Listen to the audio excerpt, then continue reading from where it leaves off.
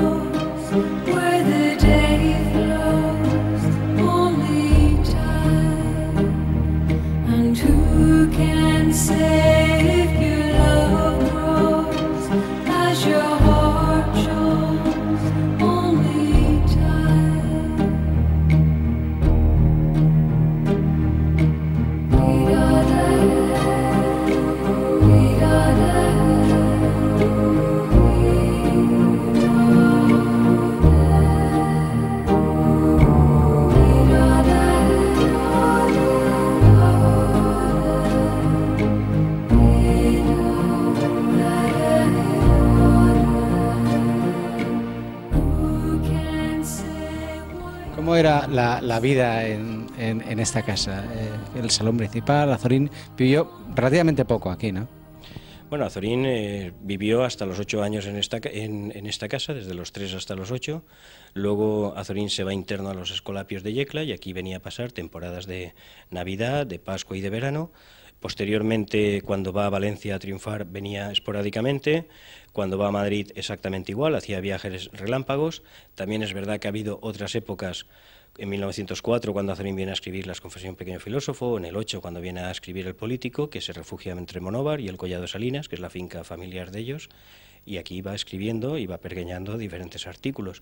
O sea, es una conexión, por un lado físicamente, como si dijéramos, no muy grande, pero afectivamente es absoluta hasta el punto de que parte de su biblioteca estaba en Monóvar y a través del ferrocarril su hermano Amancio, que era el custodio del legado que había aquí, le iba mandando los libros, los iba extrayendo, etcétera. Además, aquí se encuentra, y quiero recordar, porque José ya no se lo he dicho todavía, ni lo he visto, pero creo recordar aquí se encuentra hasta el primer pelo de Azorín. Efectivamente, esta familia era tan meticulosa que lo guardaba todo. Eh, por eso hemos hablado antes de la meticulosidad de la madre de Azorín, pero es que Azorín era exactamente igual. Era una persona que lo conservaba todo, desde la cartilla de ahorros hasta el primer pelito que le cortaron, hasta los bastones, las muletas, las condecoraciones, el flexo, todo lo que forma parte de, su legado y de su mundo interior. Muchas de estas cosas que nosotros a lo mejor no sabemos suficientemente apreciar, fueron decisivas para que Azorín publicara tal artículo o tal obra, porque él decía que muchas de sus obras eran producto de la casualidad, pero era una casualidad que a él le, sirvió para, para inspirarle, y entonces en ese sentido es muy importante que todo su legado se haya podido conservar y esté a disposición de todo el que quiera venir. Porque eh, en Azorín no solamente se conservan los libros, en Azorín todos los libros, o la mayoría de los libros, tiene anotaciones propias de, puño y letra de él.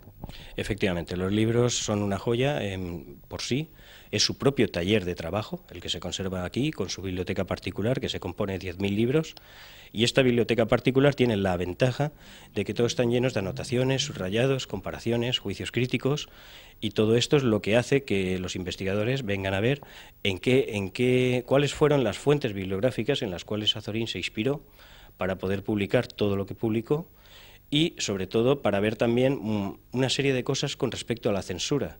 Es decir, Azorín en sus propios libros pone cosas que él escribe para sí, que a lo mejor luego no se atreve a poner en la prensa española y sí que luego lo hace en la prensa hispanoamericana. Entonces, este tipo de cotejo de documentos son necesarios a la hora de investigar a Azorín y por eso es tan importante su legado y que se conserve. Para la memoria de Azorín, para la memoria histórica de Azorín, ¿qué papel está jugando esta caja, esta casa? Bueno, esta casa es un eje, es un foco de investigación, es un foco de actividades. En estos momentos hay una buena exposición, que es el cine que vio Azorín, organizada por la Caja Rural Mediterráneo en colaboración con otros archivos particulares, pero en otro momento hemos tenido exposiciones sobre eh, Cervantes y Azorín, sobre Azorín y Francia, sobre Juan Ramón Jiménez, sobre Pío Baroja, sobre Miguel de Unamuno. Ahora mismo tenemos una exposición importante, que es la de Azorín y Cervantes en Argamasilla de Alba, en Ciudad Real. ¿Por qué está en Argamasilla? Porque en Argamasilla está la prisión de Cervantes y es donde Azorín en 1905 va a inspirarse para poder hacer la ruta Don Quijote. Y creemos que es importante que no solamente hacer nosotros actividad, sino poder llevarla a otros sitios, igual que en su momento se ha llevado a Petrel, o se ha llevado a Madrid a la Biblioteca Nacional, o se ha llevado al Instituto Cervantes de París. Creo que es importante esta labor que desarrolla el museo en beneficio de la obra de Azorín, pero en beneficio de todos sus lectores. El museo, la Casa Museo de Azorín tiene una vida propia muy rica. ¿Cuáles son los visitantes que vienen al cabo del año y cuál es el horario de visita? Bueno, la Casa Museo Azorín está abierta de, lunes a viernes, mañana y tarde. Los sábados por la mañana también está abierta, de 11 a 2.